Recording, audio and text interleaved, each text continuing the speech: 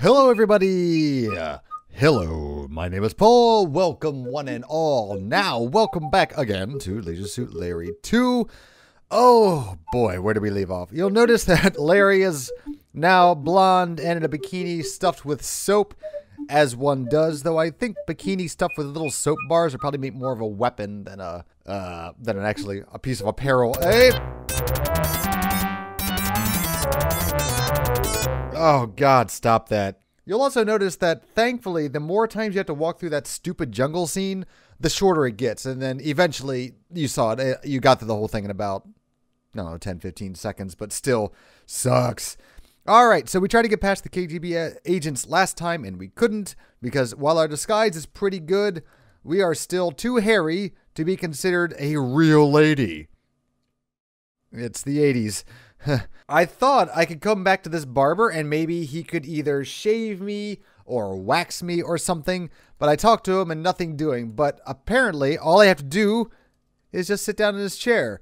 Is there anything you can do about my excess body? Or should I talk more like a, a femme, Larry? Is the. They, they both sound the same. Is there anything? Whatever. Well, of course, mister. I got just what you need. Please have a seat in the chair, please. For you today only an Onali? Today Onali. I got a special deal. Somehow I wonder. No, no, this uh, it'll work really good. What are you gonna do to me this time? A body waxing. Once again, he's got you trapped in the chair. Better hope this time it'll turn out better, but it turned out great last time. You put soap on my hair, and now I have luxurious blonde locks. I fail to see the the issue. I don't like where this is going. Not one bit.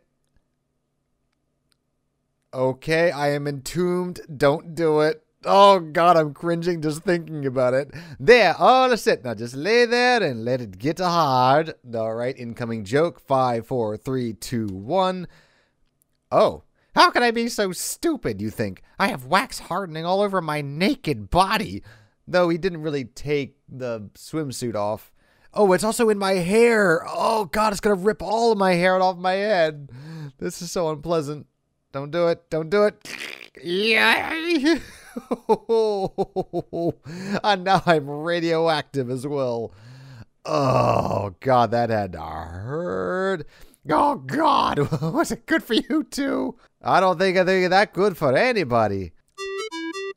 Well, perhaps the pain was worth it. I do like this clean shaven look. You're the only one. Goodbye, goodbye, King Graham of Daventry. oh God, I just want to leave that one. That's my favorite. But no, we've hang on. We gotta get a new one. If you guys haven't been voting, by the way, there's that little form down below. I'm not sure if I mentioned it the last few videos, but you can submit your ideas for his new trite phrase. Speaking of, apologies in advance for this next phrase. Okay, so now we look enough like a babe to be able to sneak past these guys, I think. Otherwise, oh, there they go. Whoa, hello, baby. Oh, honey, I think I love you. All right, well, whatever. They're not looking at me. I wonder if I can just get myself caught just by looking at them closely enough. I'm so curious. Nope, I can rub myself right up on him. It doesn't really matter. Hi. What? Doesn't matter. Off we go. You did it! You made it across the beach without being caught by the KGB agents. What lies ahead now? Mmm, oh goody, my favorite part. Oh my gosh. How will a guy as clumsy as you are ever manage to hike a trail as narrow as this? All right, here we go. Let's do it little by little. Mouse. No. All right, we'll just do it the old-fashioned way. There we go. There we go. There we go. Ah, this is easy. No problem. Whoop. That was my wig. That was close. Better be more careful. Oop. That was close. Better be more careful. I think it's actually impossible to fall off. You can't die here. The game is basically just trolling you at this point, but in a um in a fairly harmless way. It's still hard to navigate and really annoying because this happens every two steps. Actually, it turns out by just mouse clicking the path the entire way, you can do the whole thing without falling at all. Which would be good if anyone ever wants to speed run this game for anything, but just for fun.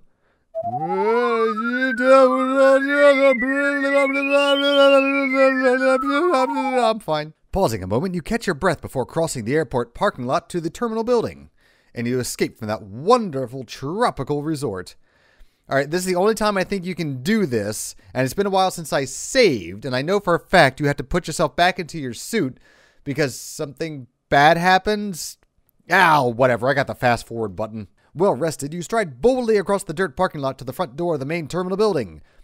By the way, you didn't think you were going to keep all those free points, did you? What free points? What, what, huh? What free points? Boy, are you happy to have it made past all those cliffs. You swear never to return that way. Halt! cries the military policeman. Oh, shoot!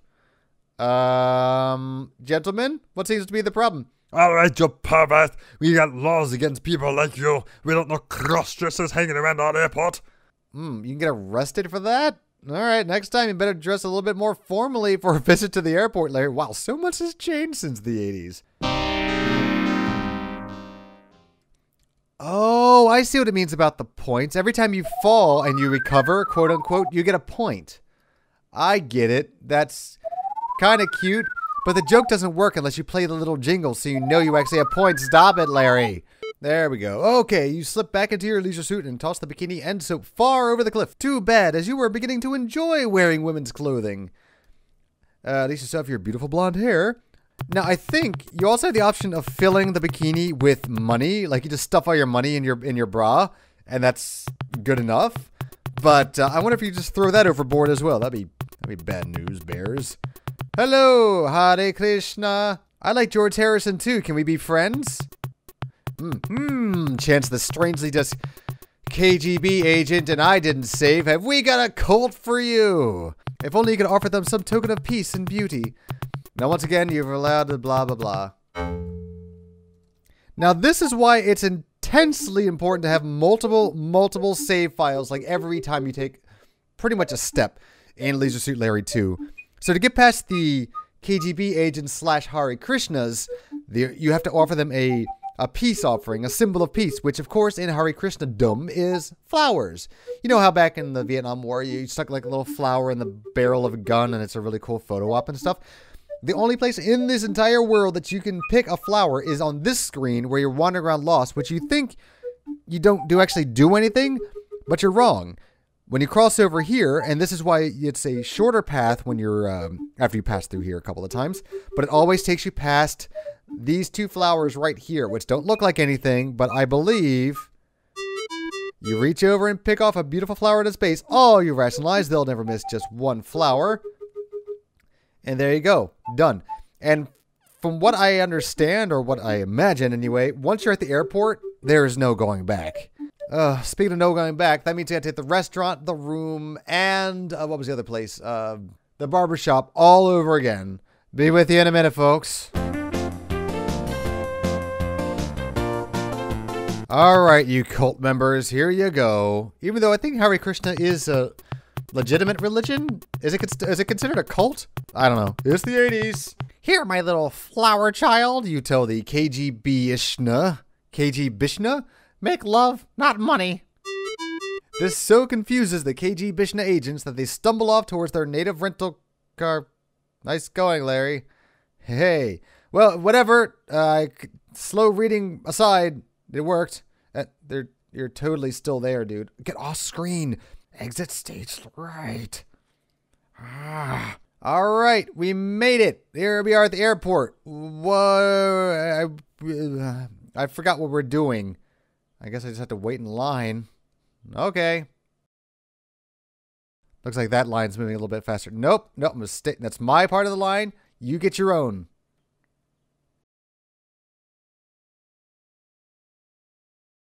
Darn, I tried to trick the game. It's too wise to me.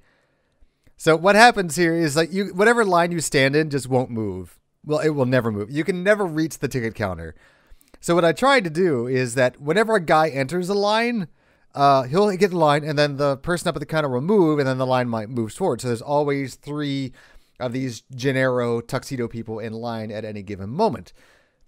So when they come up to you, I was in the center line. They either veer left or they veer right and go one of those lines. And as soon as they do that, bam, you're in there. So I kind of shimmied myself in there. It's like, aha, game, I got you. But you're moved now. And the game's move was to completely freeze time and do nothing. So yeah, there's nothing I can do. So as soon as I move out of here, there they go. Yeah, okay. All right, game. Touche. Is that the California Raisins? Yes, I meant the raisin poster. Uh, another barber shop. Oh, do I dare? Yes. Yes, I do. As much as I like being a blonde, let's see if we can change things up a little bit. Why, it's Rosella from King's Quest 4. Well, welcome, Rosella. How are you? Now, this is the sprite from the. Oh, there were two versions of King's Quest 4. There was the uh, the SCI and the AGI version, and this is sort of like the scaled back version of her. Uh, wait, no, no, no, no, no. Wait, wait, wait, wait. Did that game even come out at this point? No, yay, I was right. Okay, so the, um, this game came out in October 27th, 1988, and King's Quest 4 came out in September of 1988. So it's about a it's been out for a month. And anyway, so there's two different versions. There's Rosella, which is sort of like the more blocky version, and then I think there's an even more blocky version in the AGI engine. Uh, no, the SCIF. Ah, God damn it. All right, I know for sure AGI is the original adventure game uh, engine, whatever thing. And then they came up with the SCI, which is the Sierra Creative Interpreter. Got it. Okay. I, you guys have told me this in the comments so many times, and it's like, just think alphabetical. A came first and then came S. Well, whatever. Anyway, point is there's AGI version of King's Quest 4 and an SCI. The AGI one is really rare because no one played it because every. Uh, I wonder if it'll recognize it if I call her Rosella. Nope. Just have a seat in the chair there. All right, Rosella, I'm in your capable hands. Can I just get a slight trim? My hair is ridiculously long. Oh, oh, I'd be happy to. Just plop it in my chair there, Goldilocks. I'll take care of those curly locks for you. Gosh, oh, please careful. I hate to lose my full head of hair. Just take a, a little off the back. What are you putting on my head? No! All done, says the barber. What do you think? My hair! It's gone! It serves you right. You should never trust a barber with longer, prettier, blonder hair than yours. Well, at least I look like my passport picture now, although that seems like a small consolation. I'm sorry you're not satisfied. Here, take a bottle of this month's special. When you have time, rub a teaspoon on your hair every day for a month. Soon your hair will be full and rich.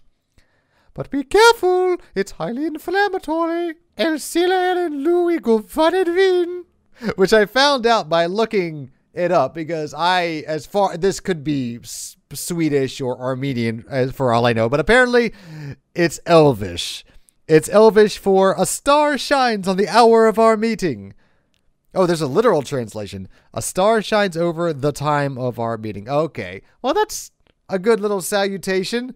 Hard to pronounce, but adorable. What is on this picture over here? Is this like a kazoo or harmonica? Jim Whistler is about as modern as you can stand. Jim. Okay, now I gotta look this up. Oh, as in that Whistler. As in Whistler's mother, Whistler. Yeah, I think I would have figured that one out. 1871. Ha! Well, you get none of that here. You're in the 80s now. Garish colors for everybody. All right, so what I got to do is I got to figure out how to get a ticket. Do I still have my passport? I do. Okay, good. Oh, and I have hair rejuvenator. Wonderful. I think I remember what to do with that. I think I know more or less what to do. Kinda. All right, so here's customs. I don't think I can get past here without a ticket, can I?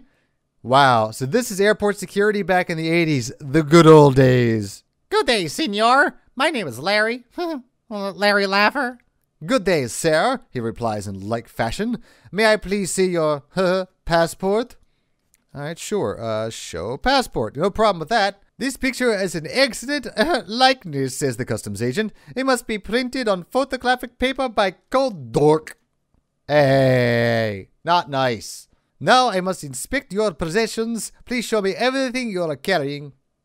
Oh dear, do I have anything? Do I have any contraband? I have a knife. Oh crap. They're not gonna let me on with a knife. Well, okay. Although this is highly unusual in an adventure game. Yes, but I must warn you about carrying that knife on board any aircraft. Okay, you have my word on it. All right. It's like, is this how they deal with like people that are trying to blow up the airlines? It's like, well, you got that bomb there, but just make sure you uh, make sure you dump that before you get on the plane. All right, promise. pinky swear. All right, he said, unlocking the gate in the east wall. You may pass. Hey, thanks a lot, buddy. Peeling off a hundred off your wad of bills. Here's a little something for you and the missus. I'm not your buddy, you ugly Americano. They all float. And you'll float too. oh, good. I love the movie It. Ah. Oh, my. I'm titillated. All right, Mr. X-Ray, you just let uh that looks like knives and stuff. He's sound asleep. Don't wake him up. Ah, screw that. Wake man. Zzz. Oh, never mind. All right. So there was I don't know what that was. That was creepy. If I look at the screen, if I can tell what it is. All right, so here we go. So here's wait for the next one. Look, screen. Doesn't look interesting. I want the cat. Oh, it's actually a cat-shaped bag. Get bag. I missed. No, no, no, no, no. There we go. You nimbly grab someone else's suitcase from the moving belt, force it open, and discover inside a dead cat. Yuck. You sheepishly close it, return it to the conveyor, and wonder if anybody noticed you. Uh, I should probably report that. Uh, ooh, maces? Can I just do this with everybody's bag? Just look in there. A pair of maces, no use to me. Is this this can't be what security was like in the 80s. Doesn't anybody lock up their bags? Uh, that's a violin case full of guns. A Tommy gun in the violin case. No use to me. Whatever. Oh, man. I can make up like such a bandit. Come in here, open everybody else's luggage, grab it, and just leave and sell it. Nothing of interest in there. A computer. I could totally use that. A computer. Searching through the disk storage box within, you discover a complete set of Sierra Adventure games that you decide they are no use to you because you're having plenty of trouble with this game.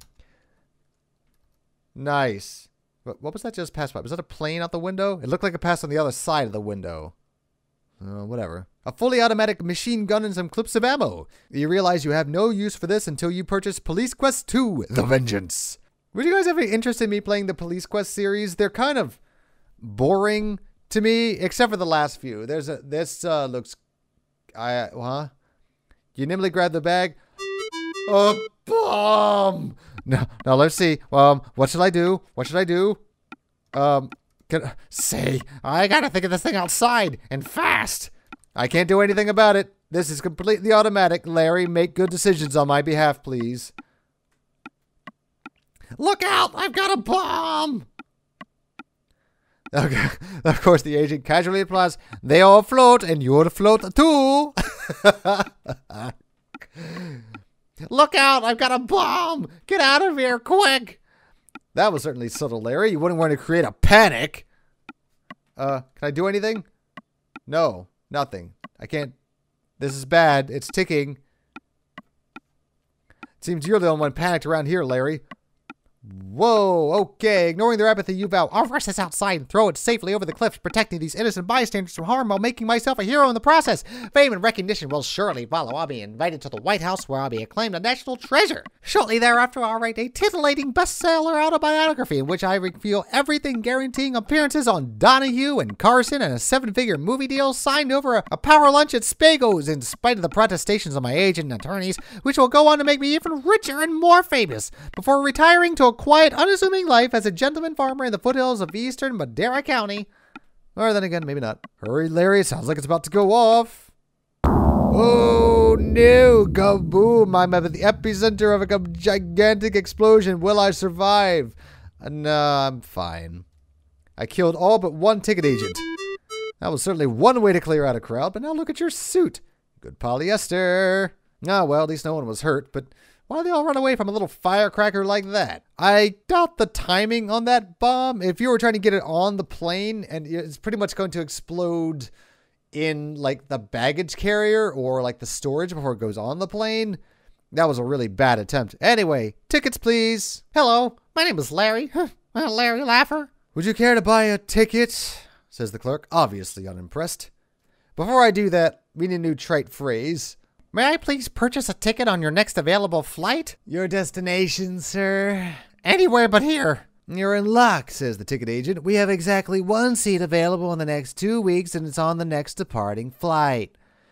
I'll take it. Uh, say, um, if you have no seats available, why were all those men in line? They were waiting on keys to the restroom. You presume that explains their sudden departure following the loud noise. Oh, and the sudden flash flood. Would you prefer smoking or non smoking? There's only one seat on one flight. It doesn't matter. Non. Aisle or window? Aisle. Any carry on baggage? None. Luggage to check through? No. We require a bassinet. No. Traveling with children and elderly? No. Bring your pet? No. You have a passport or visa? No. Uh, yes, we have a passport. You have a bag insurance? No. First class, business class, or coach? You said only one seat. You stay 14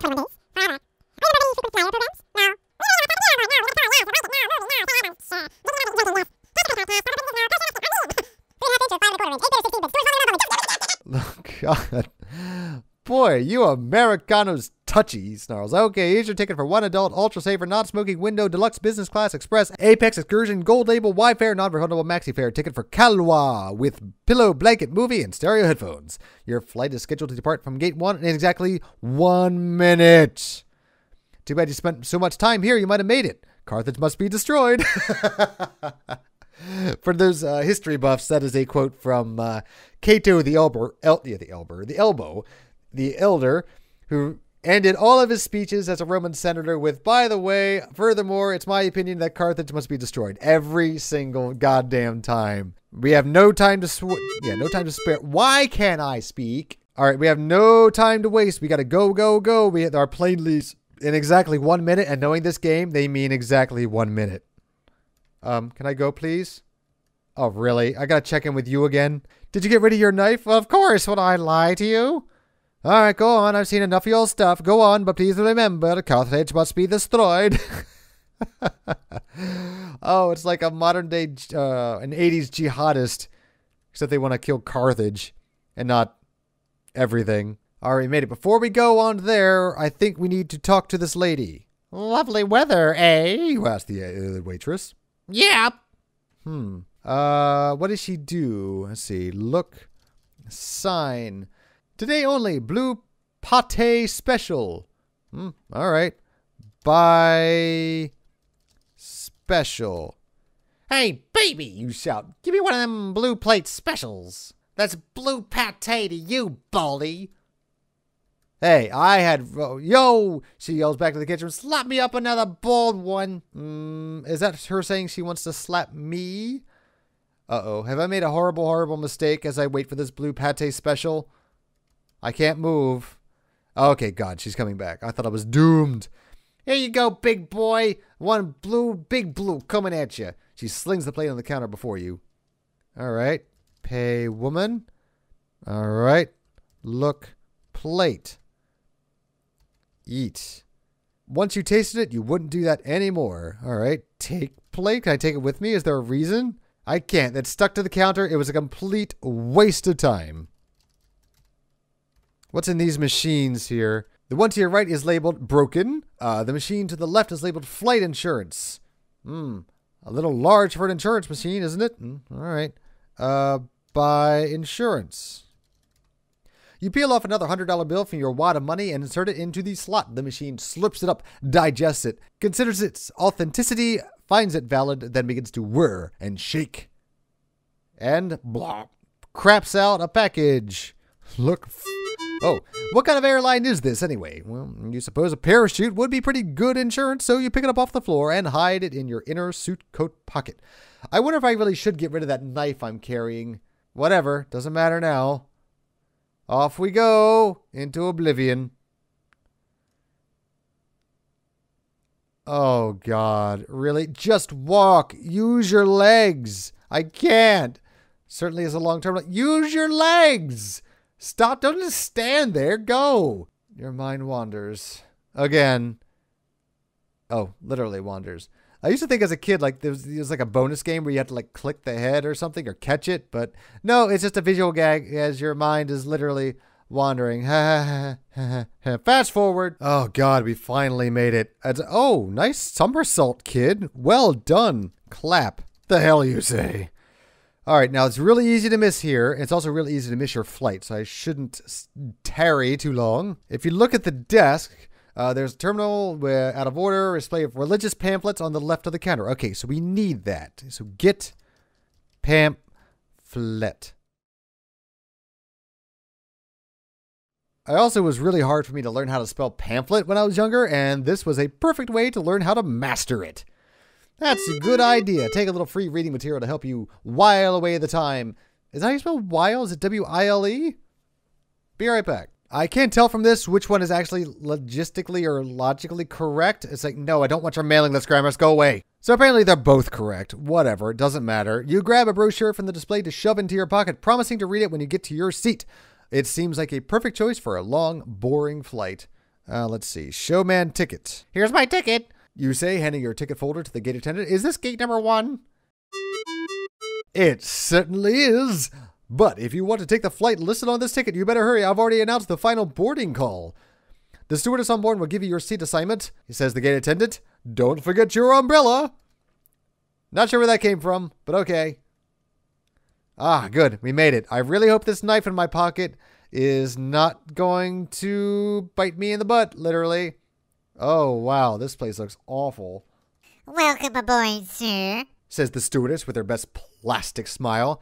May I see your ticket, please? You give it to her. Your seat is on the left in the second compartment, Mr.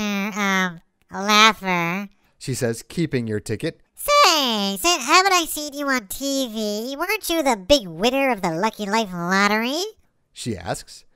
Yep, that's me, baby. You grin and hand her a hundred dollar bill, and here's a little something for you. It appears that what I've heard is true, she says. About me, gorgeous? No, about the Nuevo Riche. They are incredibly crude. She gives you her best phony smile. Don't forget your umbrella. What is that from? Is that from anything? I don't have any control. Why, this plane isn't so small. You think, look at all the room in here. Hmm, this is first class, Larry. There we go. Well, things are slightly closer back here. What country is this? It looks like it's like some sort of banana republic, but it's got a major airport with art and uh, hairdressers in it, and all these business people in tuxes are going back and forth, apparently. And I had to sit next to Donald Trump. Crap. No way. You think to yourself, I can't possibly fit into such a skinny place. yes, you can. Well, here it goes.